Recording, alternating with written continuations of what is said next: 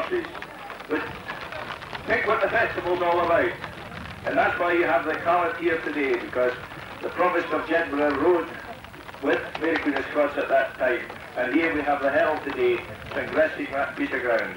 I would ask the herald just to say a few words, and then I would ask my wife to uh, present them with the, the Callant. The Callant. Mr. and Mrs. Yellowleaf, I'd like to thank you on behalf of the riders for the refreshments here tonight. I know they'll be wet enough without the refreshments, but thank you very much. Now, riders, would you join me in, in giving Mr. and Mrs. Yellowleaf three hearty cheers for the refreshments? Hip hip! Hooray! Hip hip! Hooray! Louder, please. Hip hip! Hooray! Thank you. I now ask my wife to let the coward this time with his pin. Stop pin.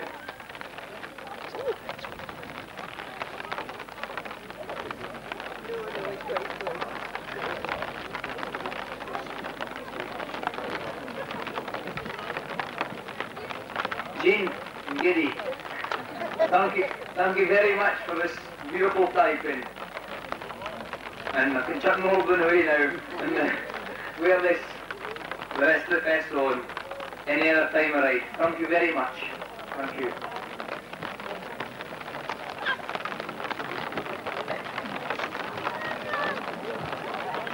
The guys came through the borderland, the beacons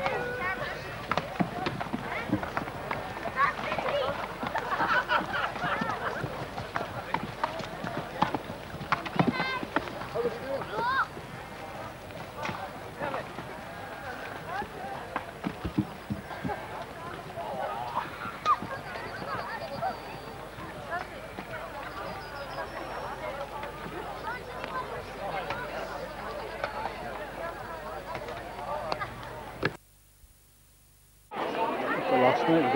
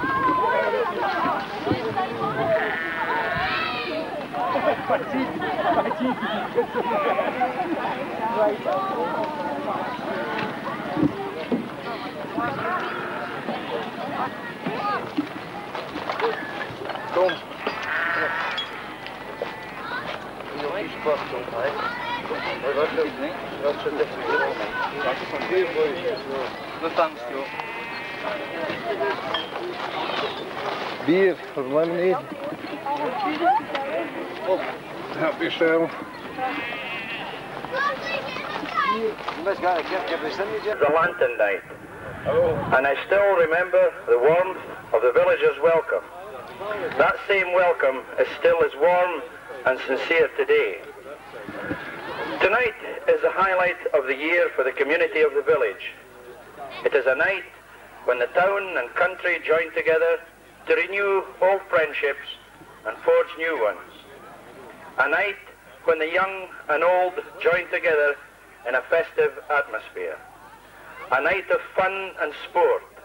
A night that I know is eagerly looked forward to by the Callant and all his supporters. Over the years, many changes have taken place in the village. Lanton has undergone a facelift. A lot of the old houses have gone and have been replaced by new modern buildings. But by careful planning, these have been blended in with the old village, and it has lost none of its old and friendly character. There's been changes too in the Lanton Night Committee. Many of the old hands are unfortunately no longer with us, but they have been replaced by younger members under the careful guidance of the older ones, some of whom, I might add, were on duty on that very first night in 1947, namely Jimmy Miller and Jim and Watt Grieve, and are still going strong today. Long may they continue to do so. They are the pillars on which the success of this Lanton night was founded. Callant Pringle, on behalf of the village of Lanton, I extend to you a very warm welcome. And with it, our very best wishes for a happy and successful festival. And may many happy memories of a night spent with the villagers of Lanton. Safe out and safe in, Callant Pringle.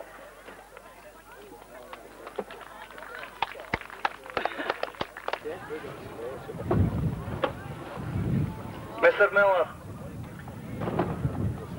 George Miller that is, and Jim Miller and the Lanton Committee, I'd like to thank you on behalf of the, my henchmen and uh, my followers tonight to be here at the Lanton Ride Out. And I'm sure we'll all will have a really enjoyable night, the fun and games in the Gymkhana, and I hope everybody takes part. I'd like to thank Jock Cumming for the very kind use of his field tonight, and I'm sure there won't be any damage done. I hope everybody here, whether it be in horseback or car or whatever, have a really good night. I'd like to all thank you very much. Thank you.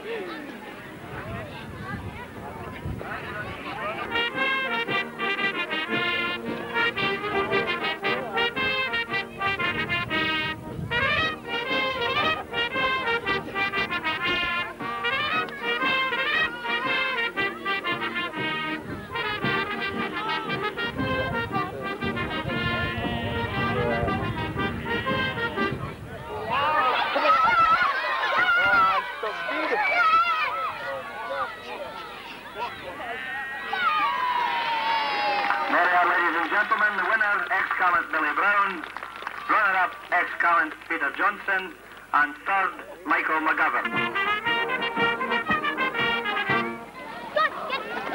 Finals, the under 17s.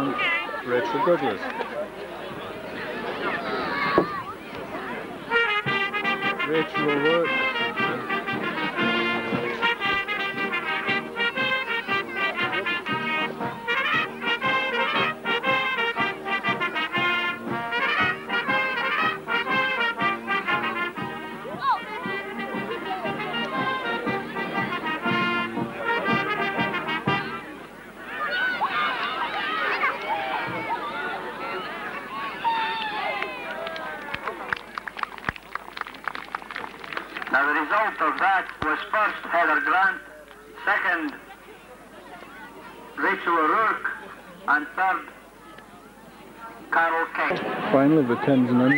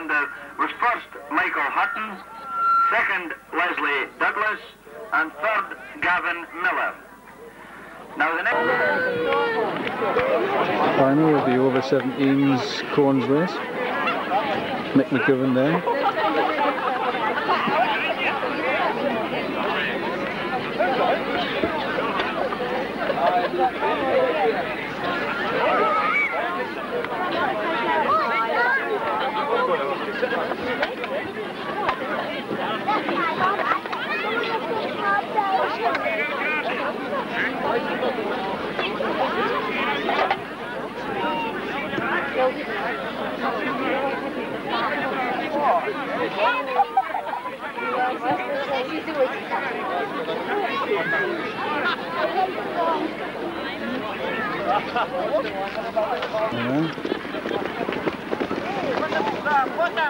Graham Sloan's in the lead there.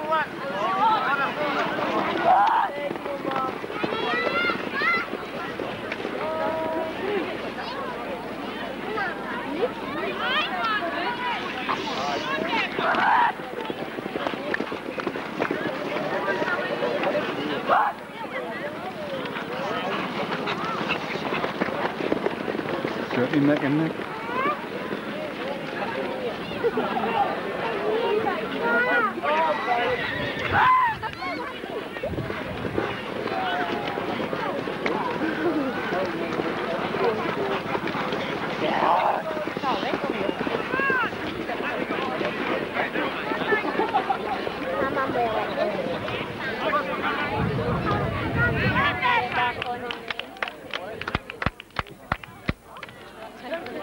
obstacle race was first Michael McGovern, second Douglas Page, and third Deborah Murrow. Could we have the obstacle race for seven? Okay then, Bob, uh, we're now gathered together with the Pringle family here at Lanton on the Gymkhana night, and I'd just like to ask our Callant, Tony Pringle, Tony, how did he feel when the ex-Callants came along and asked you if he'd like to take over the position of Jethart Callant for 1985? Well, it's kind of mixed feelings, George. Uh, well, it's something I've really wanted to do, but I thought as a kid that you, you had to be somebody special to be Jethart Callant, like. But, uh, I found that you didn't have to be somebody special. You just have to be yourself and take an interest in tuning, Ken. Uh, But Tony, you are somebody special. This is a, a, a great honour that's been bestowed upon you. I mean, you're representing the youth of Jedburgh. Um, how, how are you feeling now that you've, you've had two or three rides under your belt and festival days fast approaching? What's your feelings? magic. no, it's great to see young, old, and just all the tune folk really enjoying it. I've watched from behind, the side, on back of horses. I've, looked at the festival different angles, and to see as many people enjoying it, it's just great. Oh, that's good. Now we'll move on to maybe your father, Tom. Tom, uh, after many, many years as hall keeper, uh, you've now retired and you're, you, you've possibly achieved an ambition of your own that your son would someday be Jethart Count. How do you feel about it, Tom? Very proud. You're very, very proud, proud. indeed, aye? Aye. And you're enjoying your festival? Oh, very much so. Aye, and you can sit back and have a, late, a long lie in the mornings now and no bother about getting up to work. I'm joking. I see, Tom, that you've got your daughter Moira all the way here from Italy with a friend of hers, Donna. Moira, could I ask you, what was your feelings when you heard that your brother had been declared Jethart Callant? Well, it's St. Mother holidays up the spout. and where were you planning for your holidays then, Moira? I was planning to go to Sardinia, but that's not gone. But surely it's far better to come back to Jethart. Much, much better. I'm really, really pleased. I was over the moon. And he kept me on the... He kept me right to the last minute, and he wouldn't tell me if it was him or He not. wouldn't tell you it was Jeddah No. Nobody When did he me. find out, Moira? 17th of March. Eh, May. Did he? Aye. As late as that? Yeah. Now, Moira, I believe you've got a friend here with you from Italy, Donna. Um, could we ask Donna how, how what's her impression of the festival so far? Yes, I understand. You have to Very speak But I think it's a wonderful, um, wonderful thing. Eh, I never see, I never saw, I never seen a, a thing similar to this. It's a um, good experience for me. Good. And you've never seen so many horses before, Donna? Uh, uh, no, it's the first thing for me. Oh, do they have anything like this in Italy? Uh, no, uh, nothing. Nothing in Italy. Uh, I see we, we've got Brian here is also home from Italy. Brian, what, what, what's your, what was your feelings when you heard that Spug here had been? Well, I just I just couldn't believe it because as a as a kid as well, it was, for me it was a great thing to be up in a horseback as as a count. And I always looked in a, account, as Tony said, a very special person who represents our town, our tune, because it's it, I was just over the moon like Moira. Moira phoned me up and I, I couldn't believe it. I was feeling fantastic. I believe. that. And I cooked some great meals after that. I believe that you've just been married, Brian. I'm just married, yeah. Just, how long have you been married? Two weeks. Two weeks, and you've come away and left your bride. Well, of course, I couldn't leave my brother on his own. you had to get back together. Of course. She's off. She's off higher now. Irene, you, you've been standing in and looking after Tony and your father.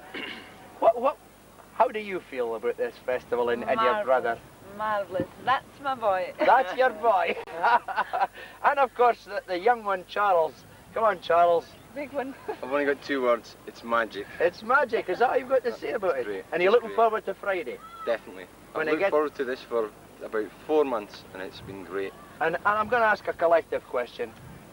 If you just think forward to the, the, the Friday morning when um, our proud Callant here gets the Jethart flag and is riding out there in the front, the, everything that belongs to him belongs to Jethart, what do you think you'll feel? Will there be a tear in your eye, do you think, Irene? Most definitely. I'm proud to be Definitely. come from You'll all be proud of Tony when he carries that flag on Friday morning. Tony, on behalf of the town of Jethart, I'd just like to say congratulations, well done, and all the very best of weather and good luck. Here's George. Thanks. I was ready, Bob. Uh, no. Oh. hey, hey! He's got it on film. Well, Tara, I've got an apology to make. I, I was concentrating on all the adults and I never thought about you standing in the middle, darling. So I'm very sorry indeed. But here's your big chance to be on the video on the big screen. What do you think about your Uncle Tony being calm? Yeah, I'm just really proud. And it's hard for all my other pals to understand because they don't know about the festival. They know. Oh, they surely know in Edinburgh about the Jet Festival. Well, I've told them, but they don't know. But They don't I'm just proud and, And, and are you going to get a horse someday, Tara? well, Taking lessons, isn't he? maybe. Hey, and you'll come down and follow before he's finished. You've got three years. hey, you'll be on a horse before then. Oh, God, I'm sure she'll. And I'm sure that when you when you go back to Edinburgh and you go back to the school, you'll be able to stand up there and tell them all about your Uncle Tony was the most important man in the whole of the borders in 1985. He carried the Jethart flag on Festival Day. Will he? Yeah. Good lass. Thank you very much for coming along, Donna. Is this the first year? Is this the first year? The new religion? I think you can walk and do the three.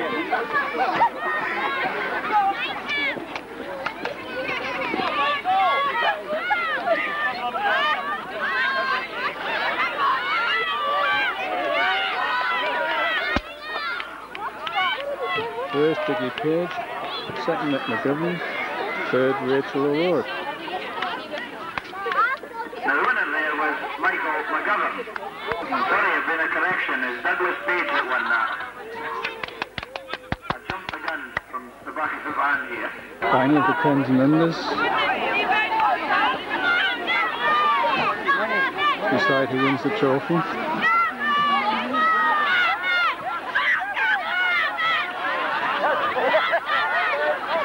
Could be desperately close. Michael Hutton, by, by a whisker.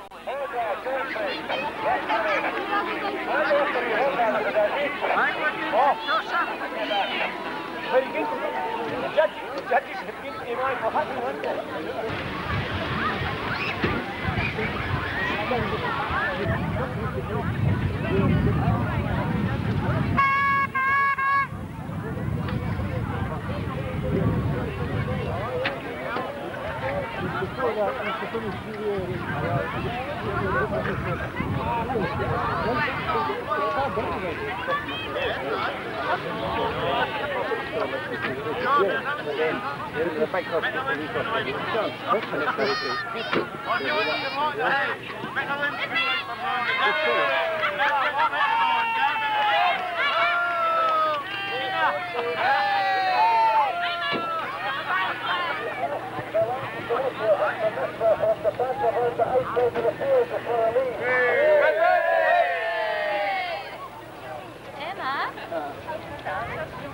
Jimmy!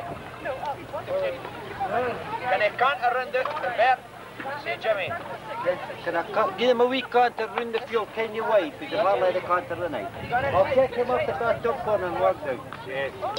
Just a nice Hold on, hold on. A big hand for the young man that's won the cup tonight. Michael Hutton, and he comes from Hawick, but he's got Jared Miller. Well then, Michael, just like...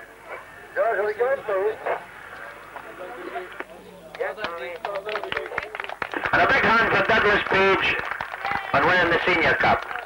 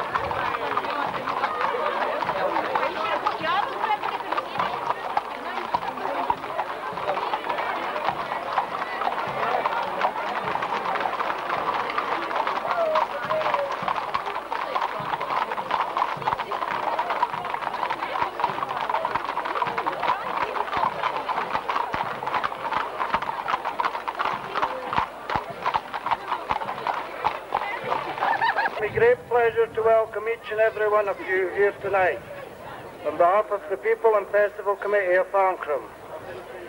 It is so good to see such a large turnout of people and to see such a large cavalcade. As the years go on, this ride out is getting bigger and bigger. And I am led to believe that led to believe the one the riders look forward to as it starts the beginning of the festival proper. In Ancrum always look forward to this night as it brings together old friends and where new friendships are made. There has always been a very close link between Jethart and Ancrum. So once again, welcome, enjoy yourselves and have a very good evening.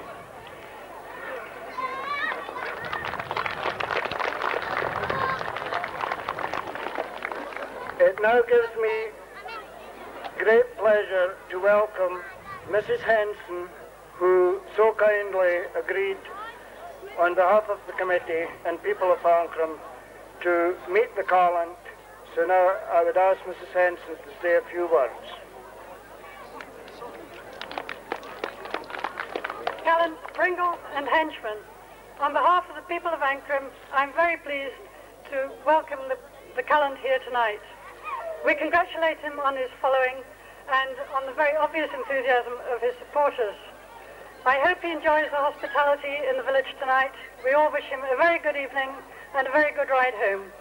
And may I take this opportunity to wish you all the best for a very good festival day. Thank you. Thank you very much, Mrs. Henson. Now, ladies and gentlemen, I now call on the Callant to say a few words. Mr. Burns, Mr. Convener, Mrs. Henson, ladies and gentlemen, boys and girls. I'd like to thank you for the warm welcome you have given to me and my followers as we enter Ancrum this evening. It's a great honour for me to be here as Jedburgh's 1985 Callant and to lead a cavalcade in Ancrum and to receive to, to be received with so many people. Mr. Burns, thank you for presenting me. Sorry, wrong bit. it's a great honour to be here. uh. Thank you very much. And have a good night. If you're not going to the dance, enjoy yourself here. And thank you once again for all the riders and all the supporters. It's been a fantastic festival so far, and I, I trust you'll enjoy yourself over the next three days. Thank you very much. On behalf of the Ancrum people, to welcome the new Jethart Provost, Richard Gordon, who for the first time as Provost of the town has come on an official visit to Ancrum and I would like you to give him a very big hand. I now call on the Provost to give us a few words.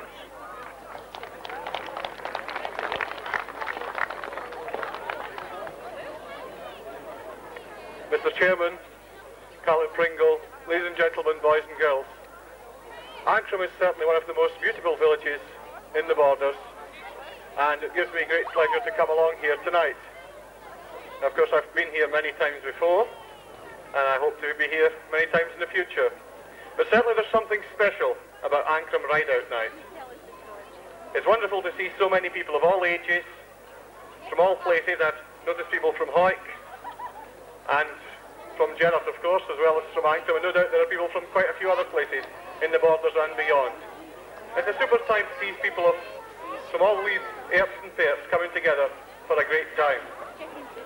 And I'm sure that as you gather here together, you'll capture something of the, fe the festive spirit, which you can share again in Jethart tomorrow evening and of course on Friday, which is the big day.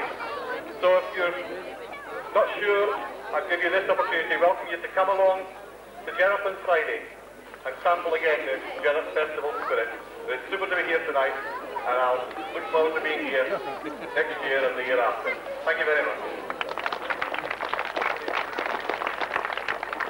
Thank you very much, Provost. Now, ladies and gentlemen, it is a great pleasure and for to for me to present this year the tankard to Carl Pringle. This is an annual thing that happens on, well, it used to happen on the whist night, but now we've changed it to the Wednesday night.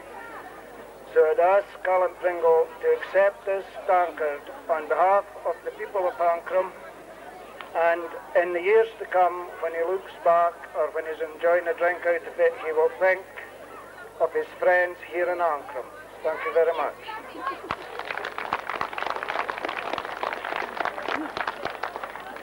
Here we go again. Thank you, Mr. Burns. It's a really fantastic gift. Very nicely inscribed with a note leaf. Well, I'm sorry uh, I missed the provost out in the introduction there as well. But really, thank you very much for your wonderful sport in the last week and a half. And please enjoy yourself. Let your hair do and enjoy the next three days. Thank you. Now this man does a lot of work for the festival, helps a lot of people in the festival, and more especially, he helps all the country districts that the festival goes to, and more especially here in Ancrum, where he gives the committee here a lot of support, a lot of help. He has helped me a lot in this last year and up till now. So I would like to publicly uh, thank him on behalf of all the district committees that have to do with the festival and now ask him if he would kindly say a few words. The convener, Doddy Jeffrey.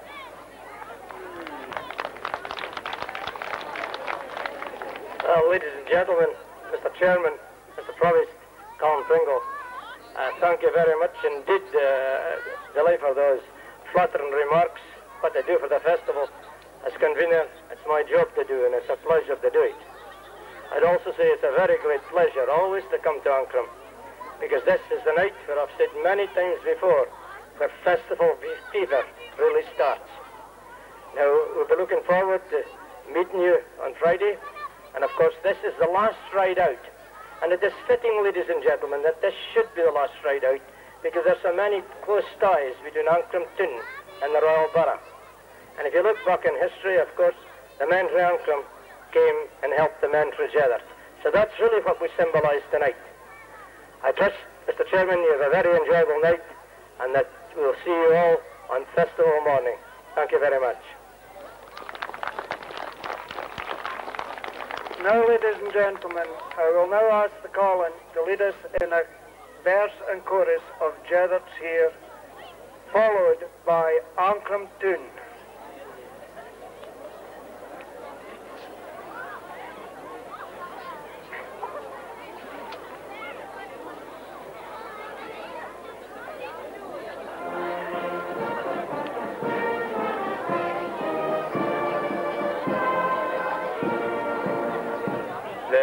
The cries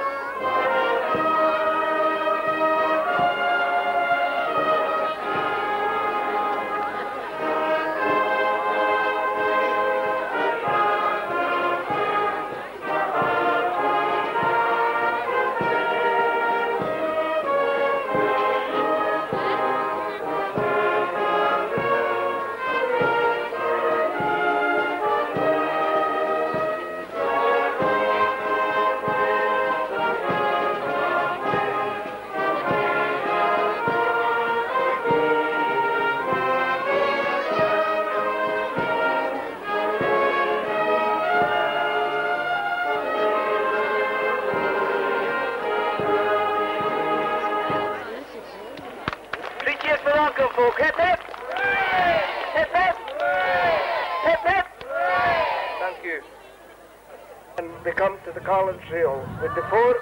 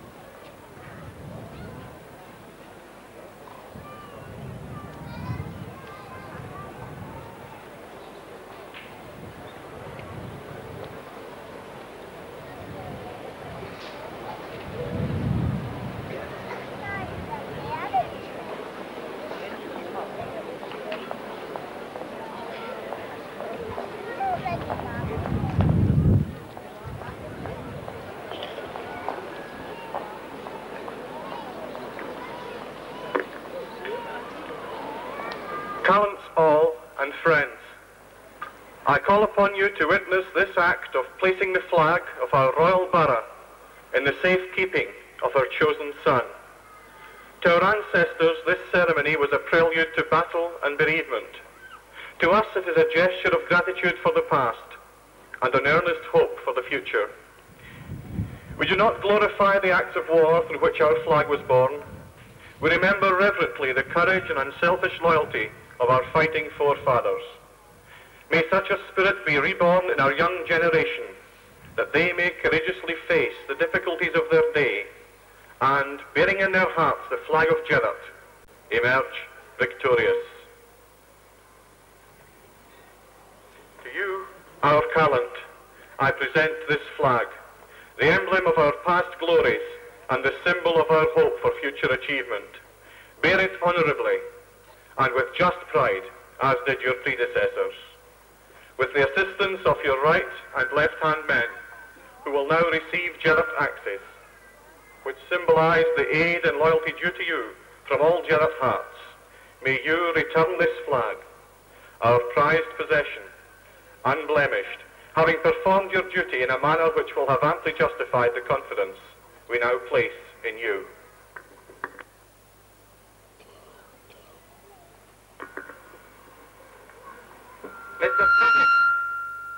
I am honoured in accepting your commission and strengthened and encouraged by my support of my two loyal men and my followers. I shall endeavour to be a Callant truly worthy of our great historical heritage and to provide in inspiration to those who will one day assume the rightful place on the Callant's roll.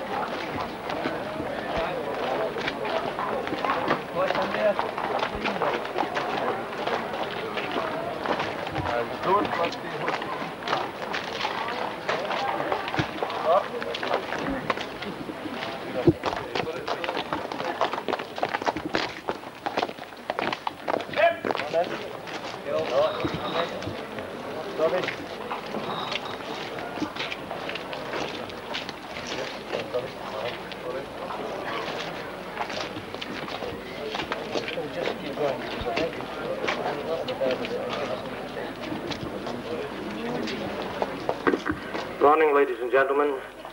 We've just made it for the weather. I'm delighted to see so many here, and it is a some pleasure I introduce to you our Provost, Provost Richard Gordon.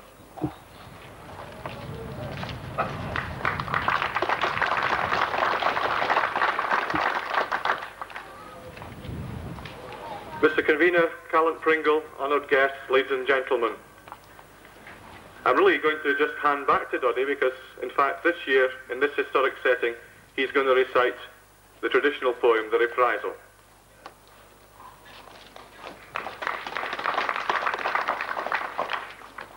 The Reprisal, 1549 by Walter Laidlaw. The castle raised from tower to floor was built and garrisoned once more. The, the Scots and French led on by Kerr, courageous and well trained to war, on horse and foot from far and near, with jagged and spear, responded to the bugle call. They storm and scale the outer wall.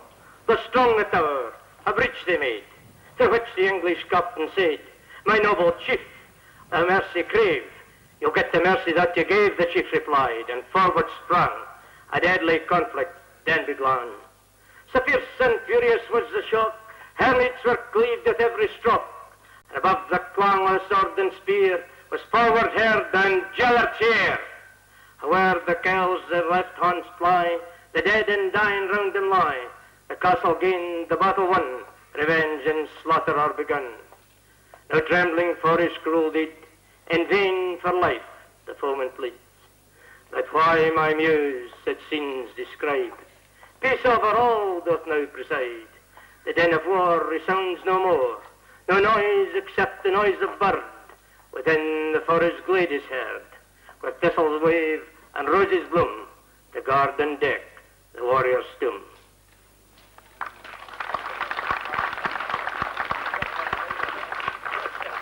Thank you very much. Our guest speaker this morning is a member of the Kerr Family Association. He's probably well known to a fair number of you. You may well have seen him taking part in various quiz programs on television. He's stood for Parliament two times. He's also a regular correspondent in the columns of the Scotsman, the Glasgow Herald, and indeed our own local paper. And he's a, a well-kent face in the streets of Jethart. So without any further ado, I'll introduce to our guest this morning, Anthony Kerr. Callant Pringle, it is an honour and a privilege to welcome you here on behalf of the Kerr family, together with your right-hand man, left-hand man and herald, and the splendid, at present largely invisible cavalcade you have brought here with you. I am proud to be a member of the Kerr Family Association and record with gratitude the interest shown by many of its members, and in particular its American members, in the restoration of this castle, and the help given by John Hall Kerr of Newport in Rhode Island in making its past come to life again through the drawing he produced my little book. The castle which you see here, in one form or another, has been in the hands of this family for a little over 500 years, and the land on which it stands for another 200 years before that. It has been destroyed and rebuilt several times. The present castle is the third or fourth, depending on how we count some of its past restorations. It was again in dire and imminent danger, not this time from an invading foe, but from sheer physical decay. It has been rescued with very little time to spare by our chief, Lord Lothian, who has spent large sums on its fabric and roof and outbuildings.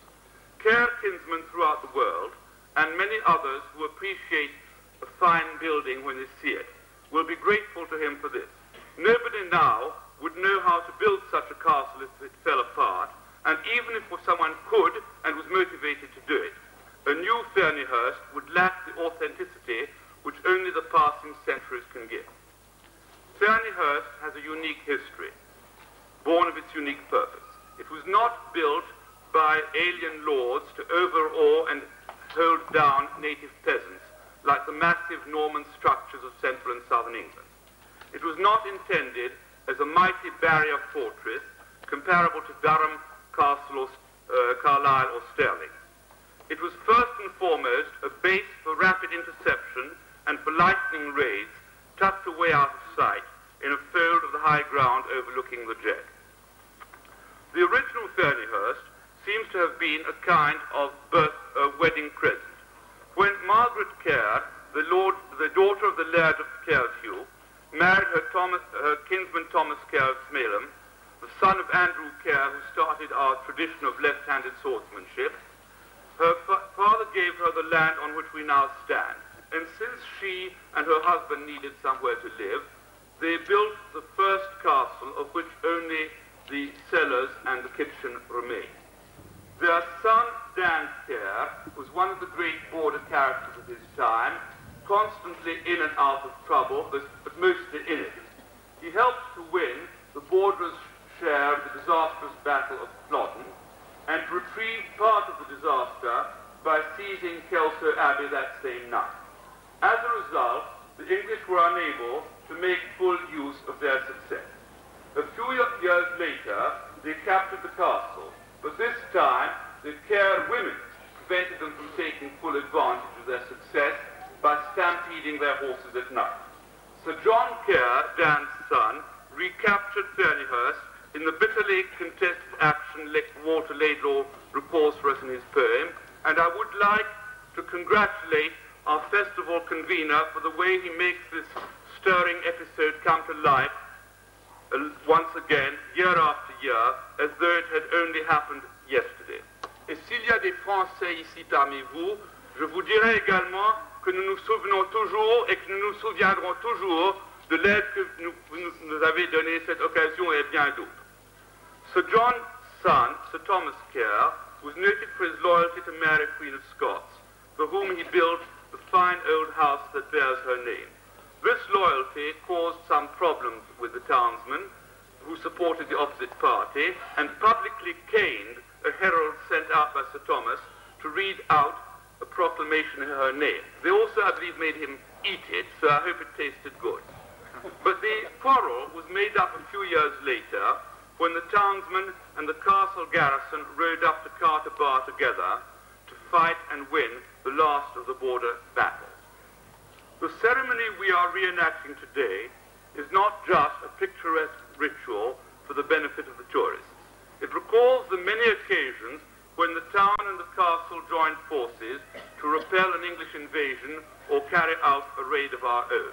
It is through this long-standing comradeship in arms between Jedburgh and the Kerrs of Ferniehurst that our sector of the back borderline held and that we still have a country to call our own. I will not go into all the similarities and differences between ourselves and the nation that begins only eight miles from here. Nor will I try to explain what it means to be Scottish. Either you know it and you feel it here, and you don't need to be told, or else it's a strange and obsolete concept which nobody can put across to those who do not share this heritage. Enough to say that we remain another people in another land, proud of our identity and determined at all costs to keep it. And this is very largely due to the courage, the effort and the sacrifices made by our forebears, both the Kerrs and the sons and daughters of many other families whom we join to honor here today. Thank you for coming here today, Karen.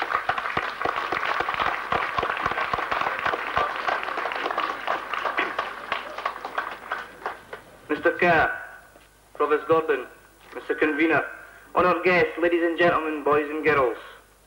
It is indeed a privilege for myself and my henchmen to be invited out here today. I'd like to thank Mr. Kerr for a very enlightening and very interesting speech. Thank you very much. Uh, at this opportunity, I'd like to congratulate on your fantastic book on, on about Turner's Castle. Thank you very much. I'd like you all now to give Mr. Kerr three hearty cheers, please. Hip hip! Hooray! Hip hip! Hooray! A little bit louder, please. Hip hip! Hooray! Thank you very much. Would you like to join me in a verse and chorus of Jethart's here? The cries gain through the borderland,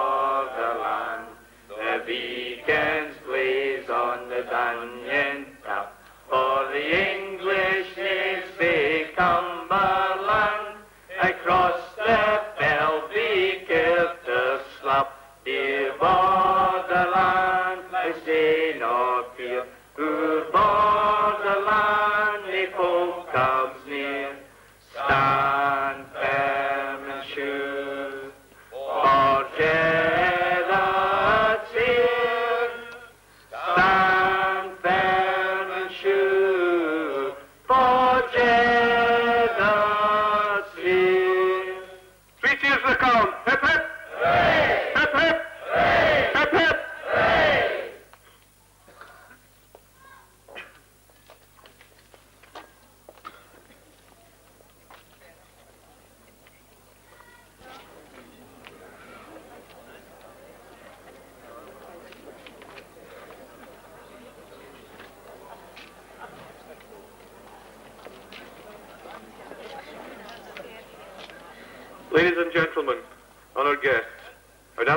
join with me in raising your glasses in a toast to the Kerr family. The Kerr family.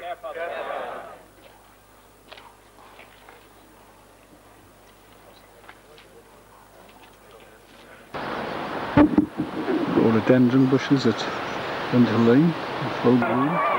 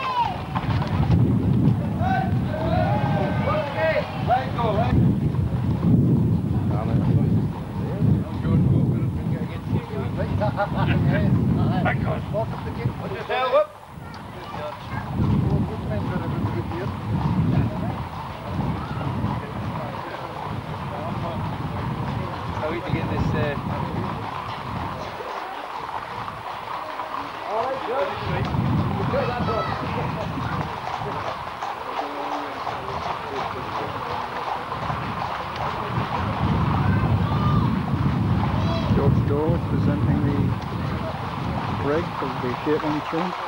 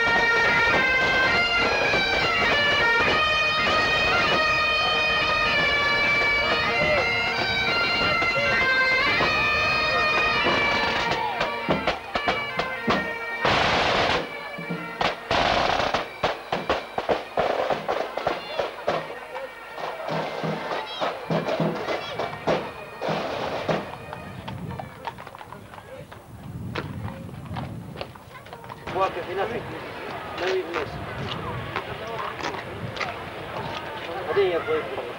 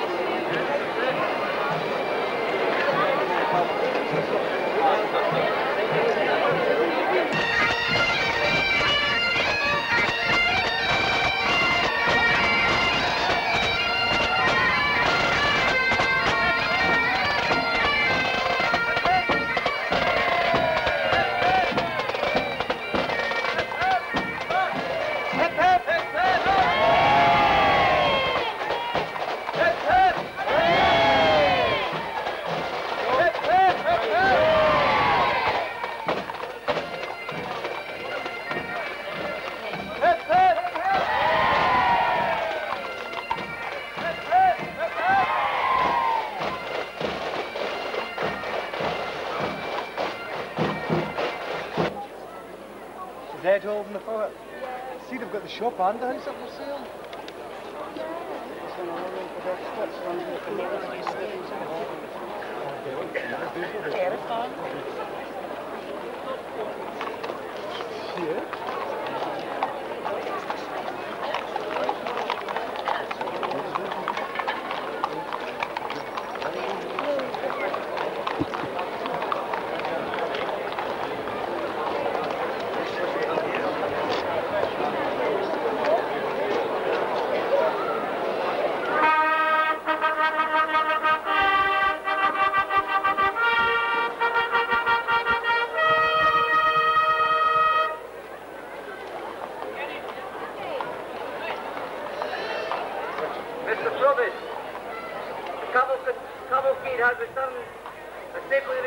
from the marches, and all the duties have been performed.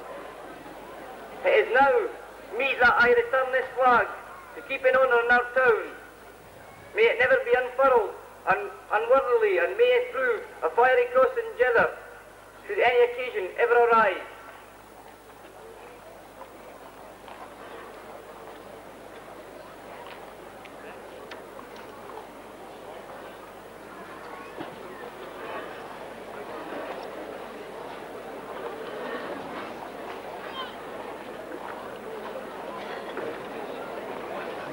You have Callant.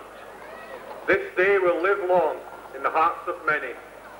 Your proud bearing of this flag has added lustre to the story of Jedburgh. The town congratulates and thanks you.